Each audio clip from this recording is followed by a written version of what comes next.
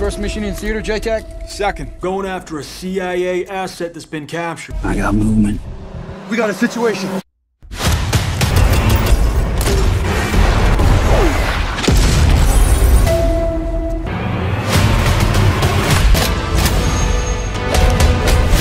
Hai sobat Jet, Rinan di sini. Terima kasih sudah klik video ini. Welcome back to my YouTube channel.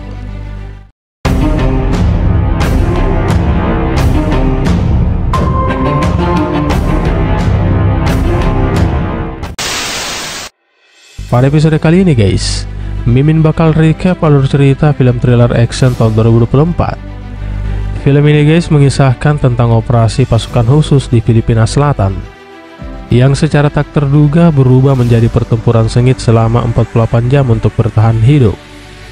Film ini guys dirilis pada bulan Februari 2024 dan diganjar dengan rating 6,5 berdasarkan situs IMDb. So guys, Pastikan gadgetnya tidak lowbat dan ini dia alur cerita film Land of Bad. Opening movie guys diawali dengan narasi singkat yang menjelaskan jika saat ini di Laut Sulu terdapat salah satu kelompok ekstremis paling kejam di Asia Selatan. Dinas rahasia seluruh dunia berkolaborasi dalam perjuangan global, di mana setiap hari laki-laki dan perempuan mempertaruhkan nyawa mereka kita berperang tanpa mengetahuinya. Scene kemudian berlanjut di pangkalan udara pahlawan Filipina pada jam 8 malam. Di sana guys kita berkenalan dengan perwira muda TACP Angkatan Udara Amerika bernama Sersan JJ Kine alias Playboy. Sepertinya dia sedang bingung memilih cemilan untuk sarapan. Lalu tidak lama kemudian atasannya Sersan Utama John Sugar Sweet menghampirinya. Playboy, Kumpulkan semangatmu, kita akan berangkat 5 menit lagi. Yes, sir.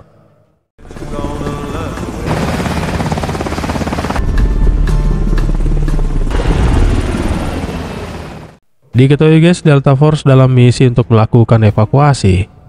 Berdasarkan informasi, aset CIA kemungkinan ditangkap oleh milisi lokal di Pulau Mindanao, Filipina.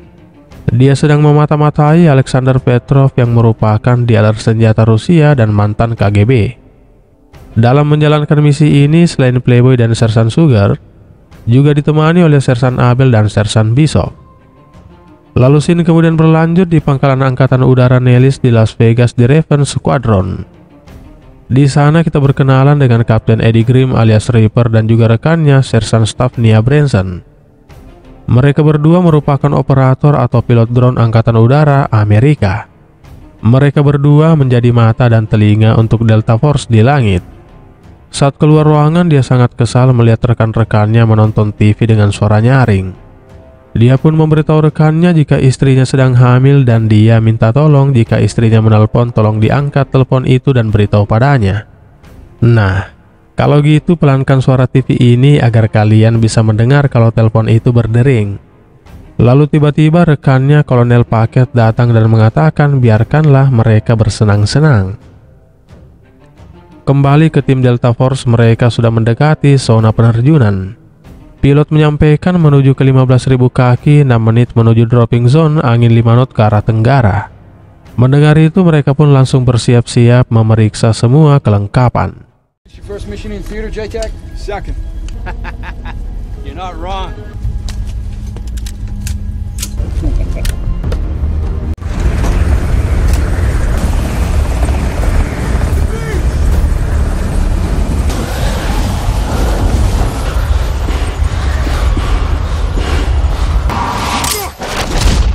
Mereka pun mendarat dengan selamat dan langsung melanjutkan perjalanan. Sementara itu guys, di saat yang sama Reaper bertukar shift dengan rekannya yang bernama Miller. Nia lalu memberikan laporan jika Delta Force sudah mendarat dan drone 10 menit lagi menuju titik pertemuan. Oke, mari kita bawa wanita ini berdansa, kata Reaper. Reaper kemudian berkomunikasi dengan Playboy yang bertugas sebagai pengendali serangan terminal gabungan atau JTAC. Playboy, Titik lokasi kalian sudah terkonfirmasi di layar monitor. Kalian punya satu MQ-9 Reaper di udara yang dipersenjatai dengan Blue 118 dan 2 Hellfire. Oke, mantap. Mereka kemudian lanjut bergerak masuk ke dalam hutan yang berjarak 8 km dari zona target. Dalam perjalanan, Playboy bertanya kepada Sugar, Aku sebenarnya masih agak bingung. Aku kan bukan dari tier 1. Ya, tapi nyatanya kau ada di sini, kata Abel. Untuk itulah aku bertanya mengapa aku ikut dalam misi. Mendengar itu, John Sugar lalu menjelaskan, satu personil dari Komando Operasi Khusus Gabungan atau JSOC menghilang dua minggu lalu. Dia menghilang saat mengejar aset CIA yang kemungkinan ditangkap oleh milisi lokal. Berdasarkan informasi dari Intel, dia diculik dan kami sudah tahu lokasinya. Kamu ikut dalam misi karena bertugas sebagai JTAC, yang akan berkoordinasi dengan tim Reaper atau pesawat militer untuk mengerahkan mereka dalam memberikan dukungan udara jarak dekat.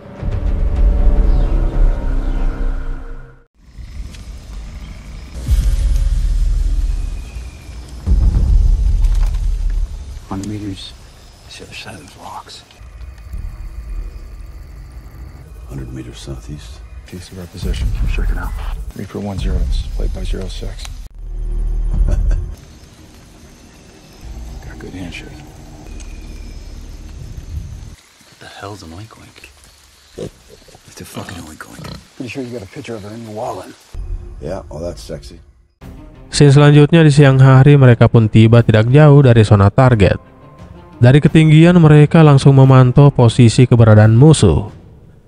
Lalu setelah itu mereka kemudian membagi tim. Bishop bersama Abel sementara Sugar bersama Playboy. Setelah memeriksa beberapa tempat dan aman, Sugar meminta Abel untuk standby memantau pergerakan musuh dari belakang. Playboy diminta koordinasi dengan Reaper untuk siapkan dukungan serangan udara. Sementara dia dan Bishop akan standby dari arah tenggara. Terus memantau zona target, Petrov dan keluarganya datang ke sana. Lalu tidak lama kemudian dari arah jam 11 beberapa kendaraan datang ke sana. Yang diketahui guys mereka merupakan milisi lokal Abu Sayyaf yang dipimpin oleh Said Hasimi. Tetap standby Hasimi menemui Petrov untuk membeli senjata kata John Sugar. Mendengar itu, Playboy konfirmasi kepada Reaper dan memberikan grid area target. Setelah menerima grid target, Reaper standby dan bersiap-siap. Tidak lama kemudian, tak disangka Hasimi menembak Petrov dan menyerang pasukan Petrov. Tak cukup sampai di situ, Hasimi dengan goloknya kemudian memenggal istri Petrov.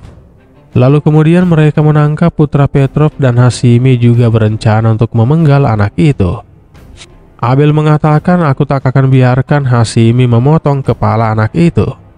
Sugar pun meminta Playboy bersiap untuk diversi potensial. Mendengar itu, Playboy kemudian meminta Reaper untuk bersiap-siap. Oke, misil Hellfire sudah siap diluncurkan kata Reaper. Abel kemudian menembak Hasimi lalu Reaper menembakkan misil Hellfire dan... Boom!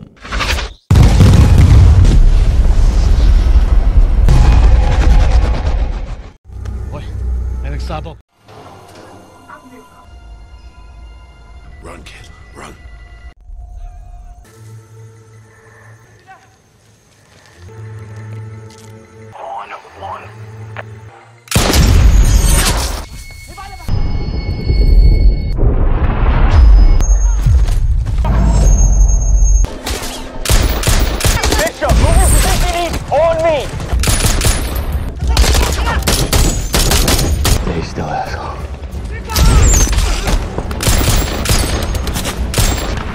I need...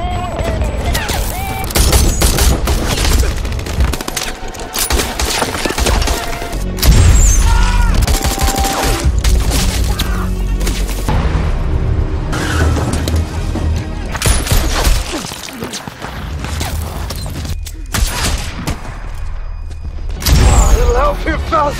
Go ahead, buddy. Oh, I got you, man. I got you. Abel, Abel, no, no, no. Fuck, fuck, fuck. I need you to stay focused, Sergeant. Get yourself together.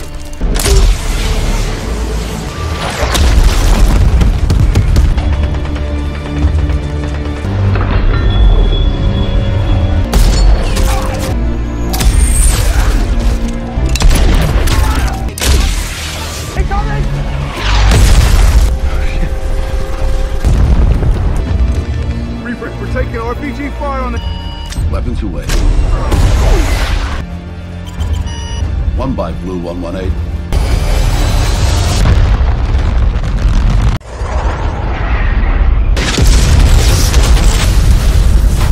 Playboy, do you copy? I see him. Berada di posisi aman, Reaper bertanya bagaimana kondisi timmu. KIA jawab Playboy, alias Killet in Action yang artinya gugur dalam tugas. Oke, kamu saat ini masih belum aman, segera tinggalkan tempat itu. Kau harus segera bergerak ke 5 km menuju ke titik evakuasi. Dia pun dengan segera meninggalkan tempat itu. Namun saat berjalan, Reaper dan Nia yang terus memantau memberitahu Playboy jika dari arah timur dan barat bahaya mendekat.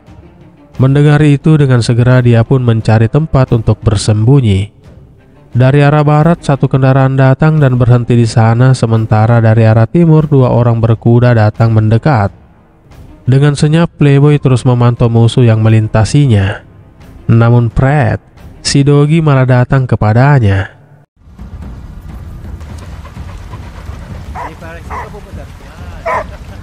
Tiga,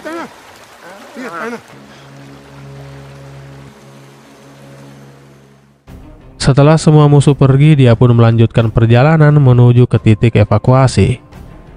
Setelah jauh berjalan dan terus dipandu oleh Reaper, tibalah dia di jarak 1,2 km dari titik evakuasi. Kamu sudah sangat dekat sekarang, tetap semangat, kata Reaper. Di malam harinya dia pun tiba di dekat titik evakuasi. Helikopter penjemput juga sudah konfirmasi jika tiga menit lagi menuju landing zone. Dia pun turun ke bawah untuk menunggu helikopter sambil memantau area sekitar. Dia kemudian menandai titik landing dengan cahaya IR atau inframerah. Dan tidak lama kemudian helikopter pun tiba dan bersiap untuk mendarat. Dia pun langsung bergerak menuju ke helikopter namun hit. Blackbird, I have multiple targets around the LZ. Reaper, hostiles 100 meters east. Better move your ass. Contact Blackbird, three more hostiles.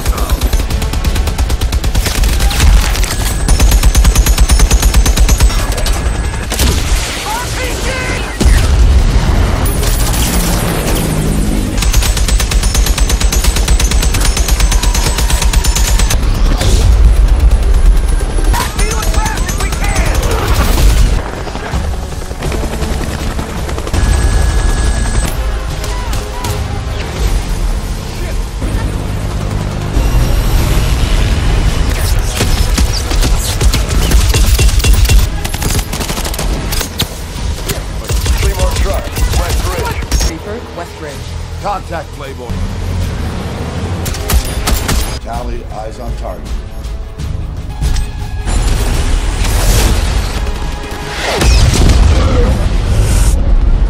Got another truck coming in from the west. Coming in on an east-west heading. Playboy, this is Hornet 1, entering Point Alpha. ETA on the horn, this is two mics. Playboy, I am Winchester. I'm out of bombs.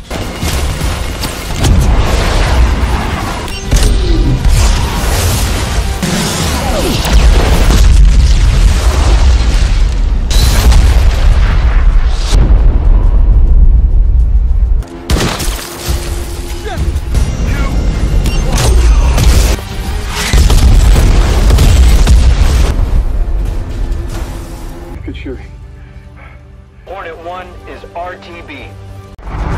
Playboy, I am Winchester. Berhasil menghabisi musuh, Playboy bertanya pada Reaper apakah ada landing zone lain. Ada lapangan di 2 km sebelah timur dari posisimu, kata Reaper. Namun ya, kamu tak akan suka karena untuk menuju ke sana kamu harus melewati bukit besar.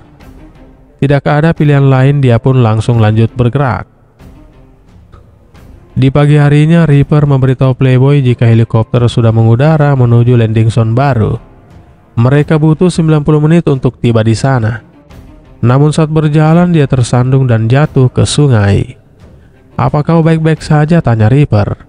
Yap, hanya lecet sedikit saja. Melihat monitor, Nia memberitahu Reaper jika 100 meter dari arah barat bahaya mendekat. Namun sialnya senjata Playboy tertinggal di tanah saat dia terjatuh.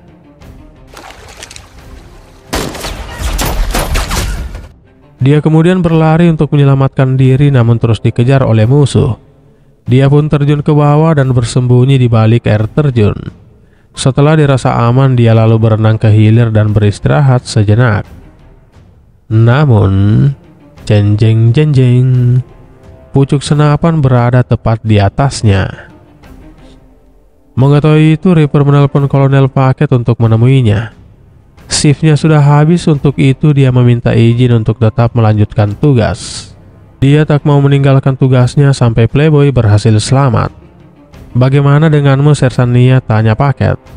Aku baik-baik saja, aku mau tetap di sini bersama Reaper. Oke lah kalau begitu terserah kalian berdua. Kembali ke Playboy, dia disekap di sebuah pondok di tengah hutan. Lalu tidak lama kemudian di luar terlihat seorang pria dengan jaket hoodie datang ke sana. Rupanya guys, dia adalah Sersan John Sugar.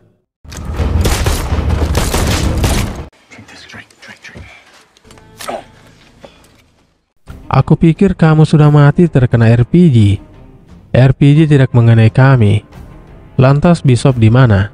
Bishop ditangkap dan terluka cukup parah. Untuk itu kita berdua harus ke sana menyelamatkannya.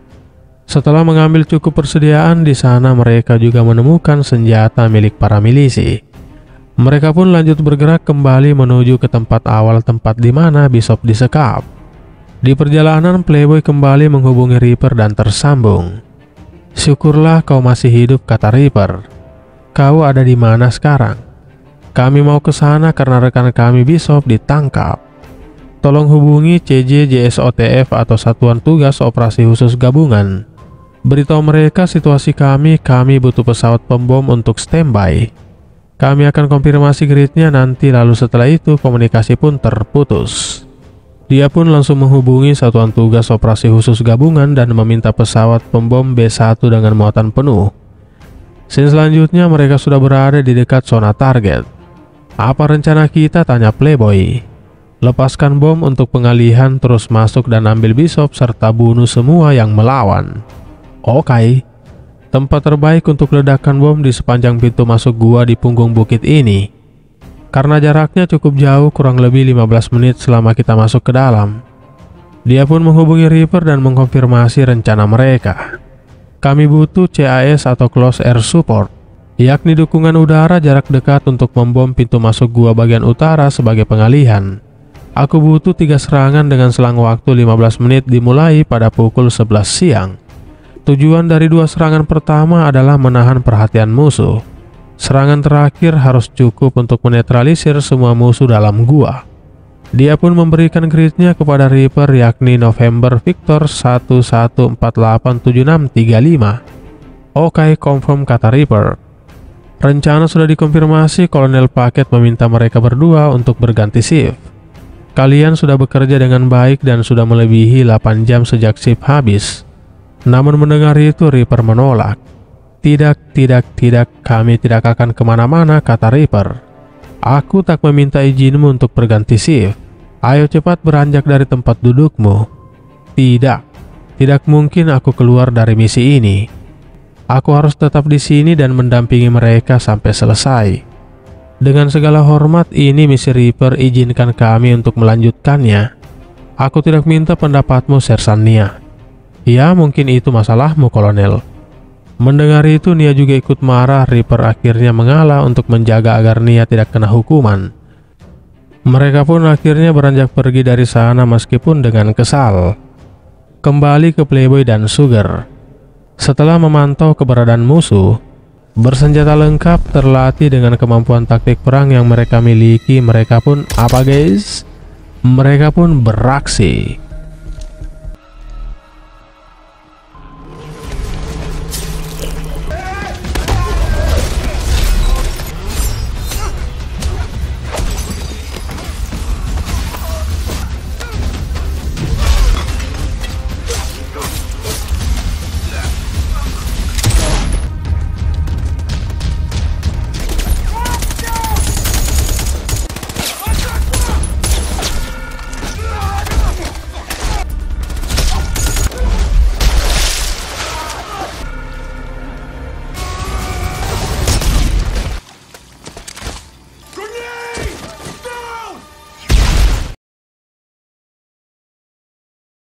Mereka pun akhirnya disekap sama dengan nasib Bishop di sana. Bagaimana kabarmu Bishop? Ya kita semua tampak kacau jawab Bishop. Kita berada di tempat yang buruk kata Playboy. Sementara itu guys, Miller terima konfirmasi dari pesawat pembom untuk serangan drone pertama. Pesawat itu sudah menuju ke target sasaran. Kembali ke Playboy, Hashimi meminta anak buahnya untuk mengambil sugar. Lepaskan dia, lepaskan tangan kalian darinya, teriak Playboy. Namun Dor. Selamat datang di penjara Guantanamo, kata Hashimi. Kini giliran Playboy yang ditarik keluar oleh anak buah Hashimi. Hashimi lalu menyiapkan martil dan goloknya di atas meja. Di mana pasukanmu yang lain? Tanya Hashimi. Tidak ada, cuman aku sendiri, jawab Playboy. Mendengar itu, martil langsung menghantam rahangnya yang membuat satu giginya lepas. Setelah itu dia terus disiksa karena tak menjawab pertanyaan Hashimi. Sementara itu di saat yang sama, terlihat Reaper lepas tugas berada di supermarket untuk belanja bulanan dan sesekali memeriksa pesan masuk di handphonenya. Kembali ke Miller, drone sudah berada di zona target. Ini saatnya ayo kita beraksi, kata Miller. Bom pun dilepaskan dan dalam hitungan 6, 5, 4, 3, 2, 1, boom.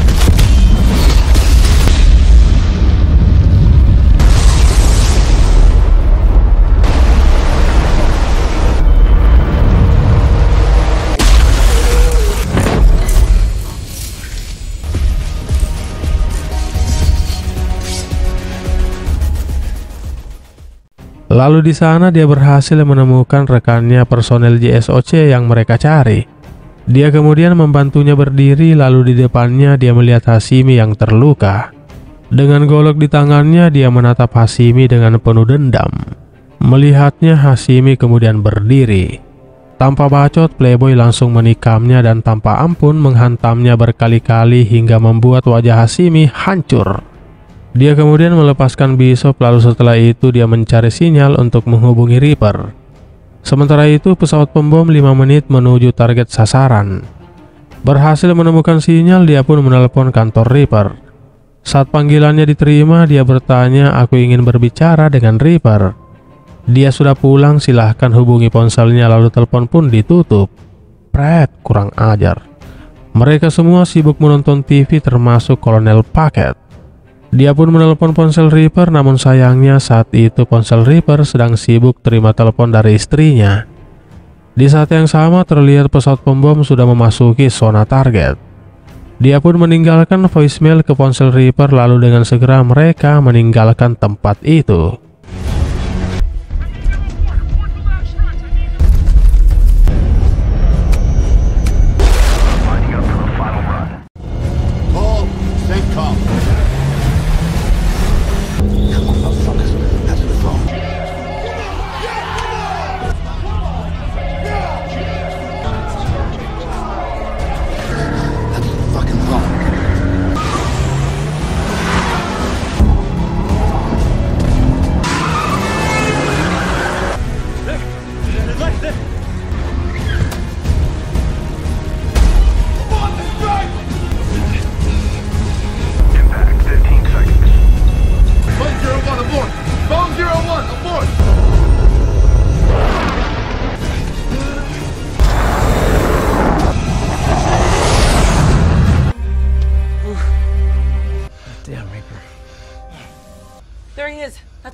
Playboy.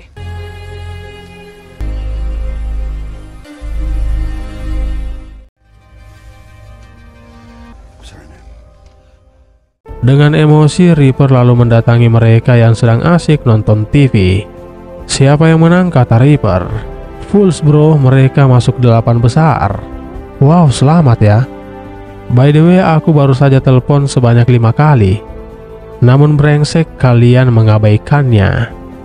Asal kalian tahu ya, panggilan telepon itu adalah soal hidup mati tim yang ada di lapangan saat ini. Prioritas kita semua ada di sini untuk melindungi pasukan yang berjuang untuk negara ini. Dia pun mengamuk menghancurkan TV itu lalu pergi. Demikian episode Mafia Recap kali ini. Dukung selalu channel ini dengan klik tombol subscribe, jangan lupa like, share, dan tinggalkan komentar jika video ini menghibur. Sampai jumpa guys pada video-video The Gadget selanjutnya. See you, bye-bye, dangkai.